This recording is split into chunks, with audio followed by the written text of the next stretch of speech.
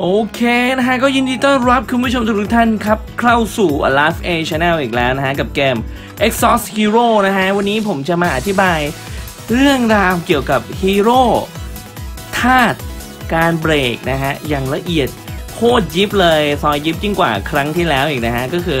มันมีปัญหาหลายข้อข้องใจของคุณผู้ชมเยอะมากนะฮะ เกี่ยวกับพวกเอ่อธาตุประจำฮีโร่การเบรก นะฮะแล้วเบรกมันแตกต่างกันยังไงสีนั้นสีนี้เป็นยังไงการโจมตีจะแรงขึ้นไหม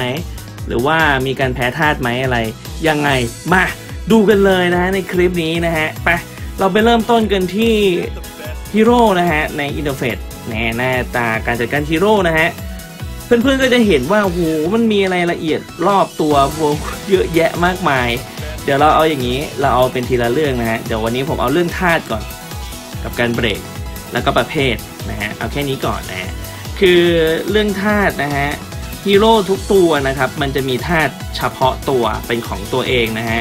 อยู่ตรงเนี่ยคุณผู้ชมดูได้มุมขวาไอ้มุมซ้ายบนเนี่ยฮะมันเขียนว่าไฟสีแดงนะฮะ หรือว่าในกรอบฮีโร่นะฮะจะเป็นมุมขวาล่างนี่เหมือนกัน อันนี้ต้นไม้เห็นปะนะฮะดูได้สองที่ ถ้าไม่เข้าใจกดค้างไว้นะมันจะเขียนบอก ซึ่งมันมีอยู่ด้วยกันทั้งหมด 6 ประเภทนะฮะประเภทแรกไฟ ต้นไม้นะฮะที่ 2 แล้วก็อันนี้นะฮะกงจักรหรือว่าจักรกลนั่นเอง แล้วก็น้ำแข็ง แสงแล้วก็เงานะฮะหรือว่าความมืดความสว่างนั่นเอง มีทั้งหมด 6 สี 6 ธาตุนะฮะแต่ละธาตุมันมีความแตกต่างกันอย่างไร คือเกมนี้ไม่มีการตีชนะธาตุแพ้ธาตุนะฮะเหมือนกันนะฮะมีค่าเท่า ๆกัน แต่สิ่งสำคัญคือมันมีคุณสมบัติพิเศษ เวลาเราได้รับ mana นั่นเอง หรือว่า mana คุณผู้ชมอาจจะงงว่าเฮ้ยทำไม turn นี้มันได้ mana เพิ่มทำไม turn นี้มันไม่มี mana เข้ามาใช้ skill วะทำไมบาง turn อ้าวอยู่ดีๆ mana เต็มงง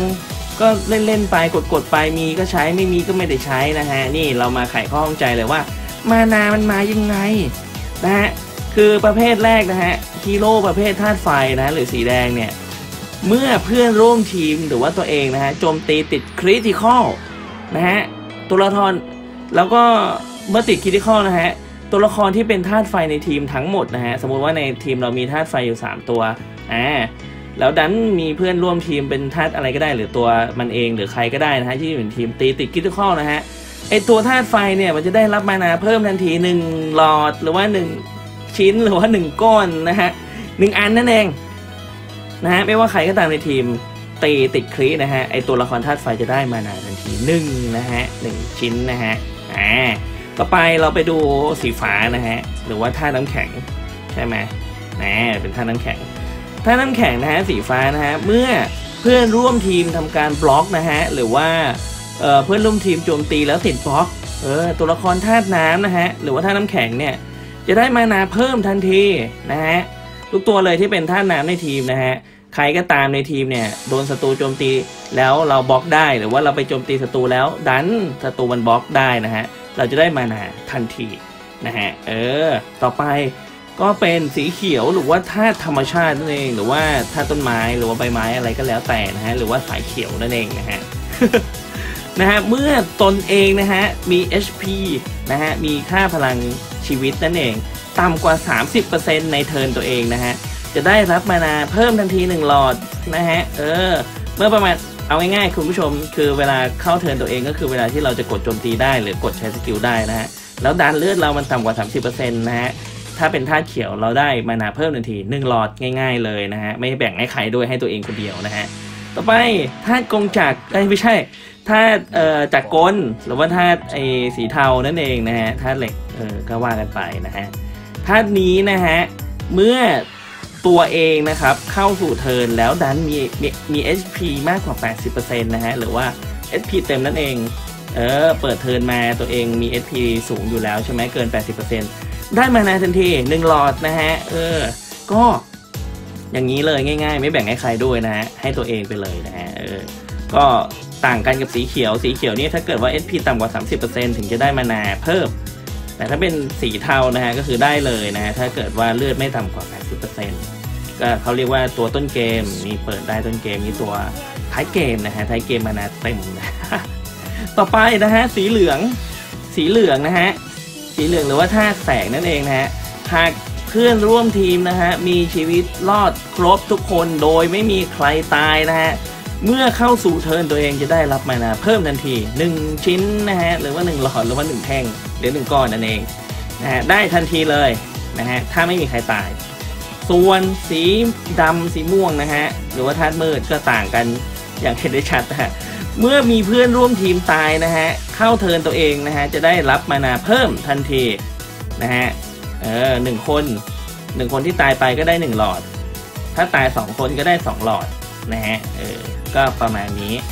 จะอันนี้จะเสียเปรียบหน่อยนะอันนี้คือต้องอยู่รอดครบทุกคนถึงได้นะฮะเราได้แค่หลอดเดียวนะฮะถ้าเกิดเพื่อนในทีมตายเป็นหนึ่งก็ไม่ได้แล้วอ่าแต่ได้ให้ตัวเองนะ อันนี้ก็เหมือนกันให้ตัวเอง ถ้าเกิดว่าเพื่อนตายยิ่งได้เยอะสมมติเพื่อนตายสี่คนเข้า turn ตัวเองมาโป้ง mana เต็มห้าเลยนะ mana เต็มสี่เลยนะ ก็มันก็จะมีข้อดีข้อเสียแตกต่างกัน อันนี้บอกตรงๆว่าไม่รวม passive skill หรือว่า skill หรือว่าออร่าพิเศษหรืออะไรก็ตามไม่รวมใดๆทั้งสิ้นนะฮะ เฉพาะธาตุล้วนๆ แค่เกิดมามีธาตุเป็นสีนี้ก็จะมีเขาเรียกว่าอะไร special gift ตามนี้เลยนะฮะ ก็คือได้ตามนี้เท่านั้นนะฮะเออก็ยังไม่เท่ายังไม่พอ มันยังมีในส่วนของการเขาเรียกว่าอะไรนะมีฮีโร่ที่เป็นประเภทโจมตีแล้วก็ประเภท support นะฮะ เราจะดูตรงไหนอะเรามาดูกันต่อนะฮะต่อจากไฟเห็นไหมมันจะเขียนประเภทโจมตีนะฮะนี่ ประเภทโกลาหล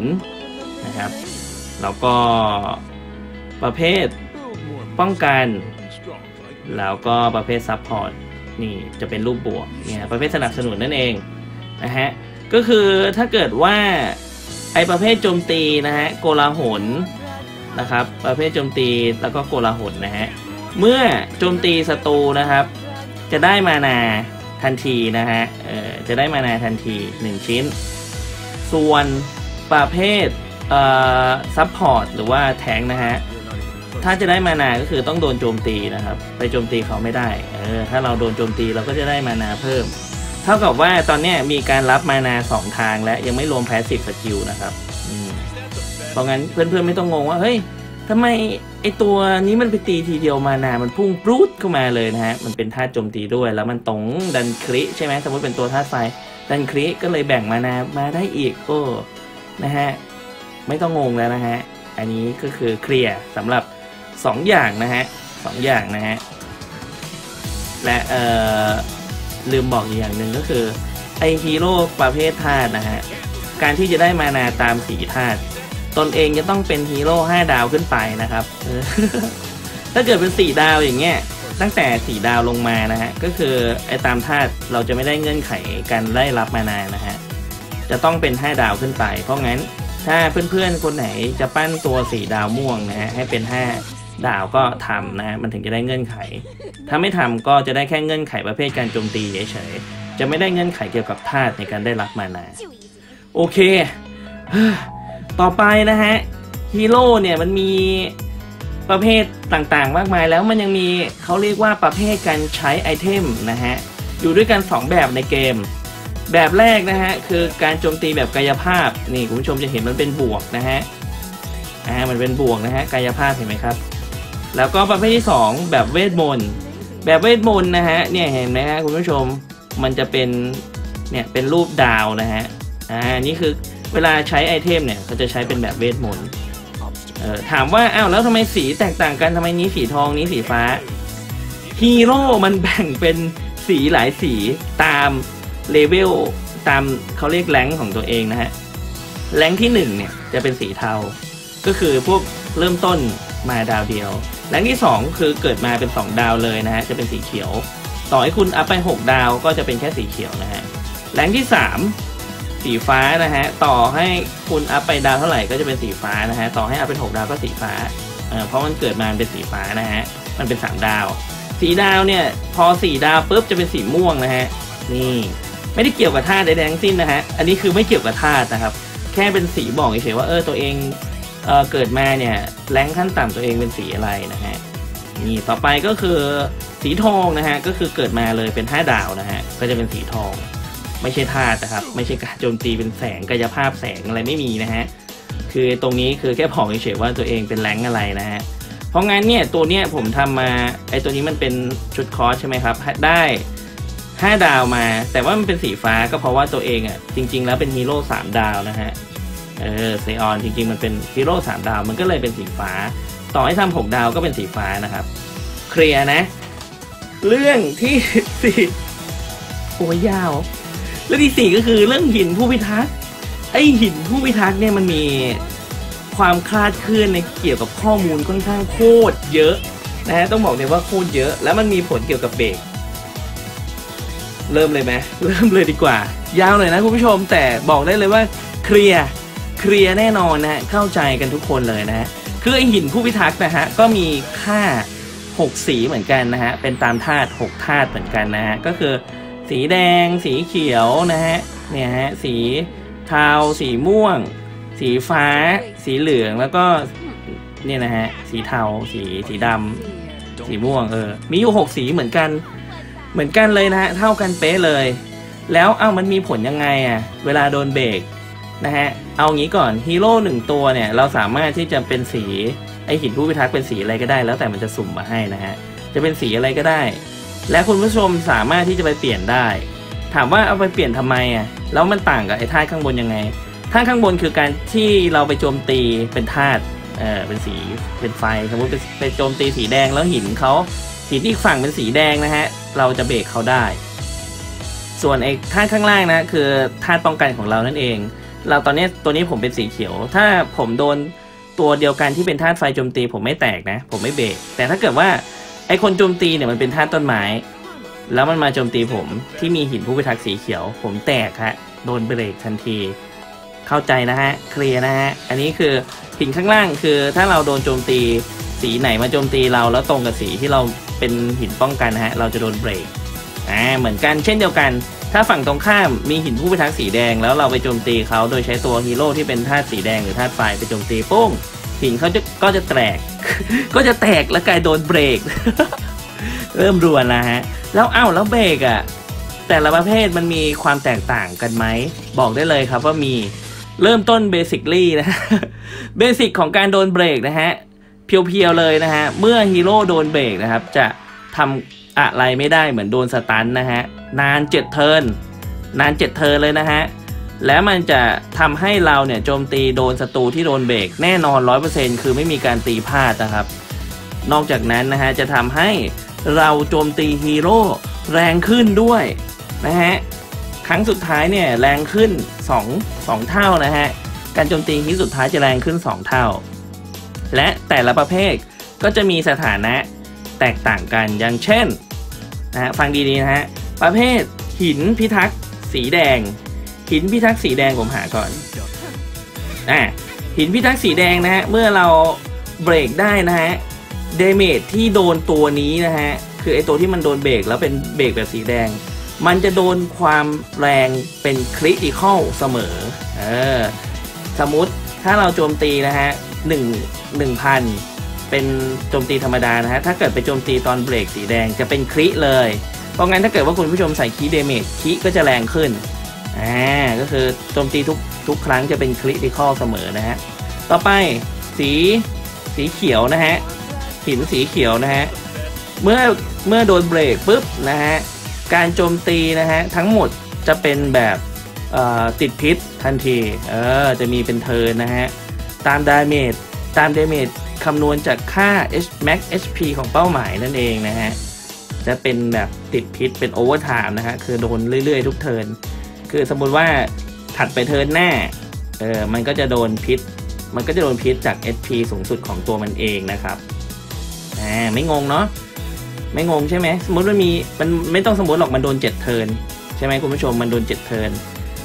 ถ้าโดนเป็นสีเขียวทุก turn ในเจ็ด turn ที่มันโดนเบรกมันจะติดมันจะติดพิษ เลือดมันจะลดลงทุก turn นะฮะตาม max HP สูงสุดของมันเองนะฮะเออต่อไป โคตรยาวเหยียด ต่อไปนะฮะหินสีเทา